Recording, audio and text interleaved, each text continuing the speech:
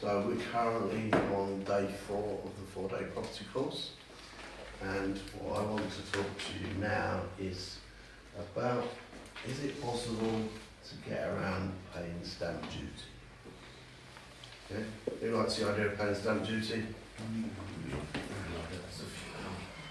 Should we try that again? Who likes the idea of paying stamp duty? No. Right, would you like to get around it if you could? Yes, please, Okay, well, let's have a look at the different potential ways around it. For dearer properties, okay, um, kind of over about seven, eight hundred grand, there are um, firms out there that are high-end accounting firms that have got tax walkarounds, okay? Well, instead of paying stamp duty, you do a stamp duty mitigation. And the stamp duty mitigation, they charge about forty percent of what the stamp duty would be, but hundred percent of that fee goes to them. Now, Would I do that? If I'm running a limited company project that's building a block of flats or building three or four properties or however many it is, and I'm buying something that's several million pounds, the stamp duty is going to be quite considerable. So, doing stamp duty mitigation means that we just pay 40%. Because it's a limited company and it's a project, at the end of the project, the chances are that limited company is going to be shut down when everything's paid. Okay? So there isn't recourse for the government to come and try and unravel the mitigation walk around. Buying this property here, we're in now for 1.8 million, the stamp duty was before the extra 3% over 100 grand. Okay? I chose to pay the stamp duty because I'm holding it long term. Okay? So what I recommend is for long term projects that you actually pay the stamp duty and be done with it. But for shorter term projects in limited companies, that we actually could use stamp duty mitigation. But you've got to look into it yourself and decide what's best for you. Okay?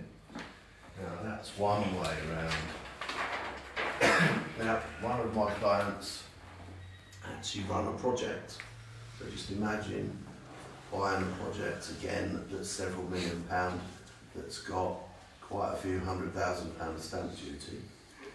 What he did is he did not pay the stamp duty when he bought the property.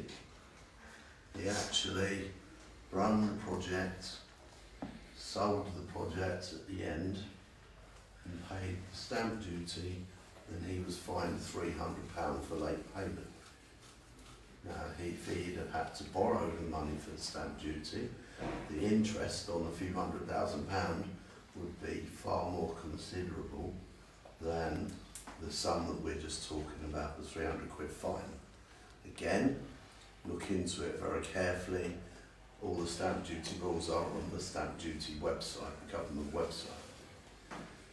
Um, there was a recent court case where it was found that stamp duty, the extra 3%, the normal stamp duty still has to be paid, but when there is a property that um, uh, work? It has got is non-livable, i.e., it's not mortgageable, it's uninhabitable.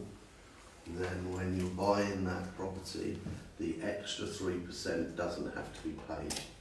There was a court case quite recently um, which found for the developer, not for the government. So just remember, uninhabitable properties you don't have to pay the extra 3%. Now, the final thing, and my favourite thing of all, is delayed completions. Buy the property, you exchange contracts. Okay? You do work, building extensions, doing whatever, you sell it on because you've got an assigned contract excuse me, to a, a end party the end party transacts with uh, the original vendor and your contract gives you the bit in the middle. so when you're buying a property on a delayed completion, you never have to pay stamp duty, you never have to fund it because you're not buying it, you don't need a mortgage. So it saves you a lot like that.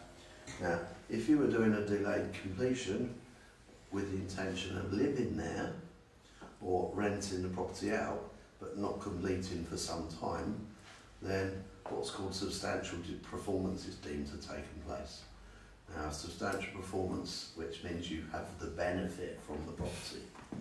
Okay? If you're doing it up, you're not living there, you've not got the benefit from it. But if you live there or you tenant it and get rent, then that benefit is called substantial performance, if deemed to have taken place.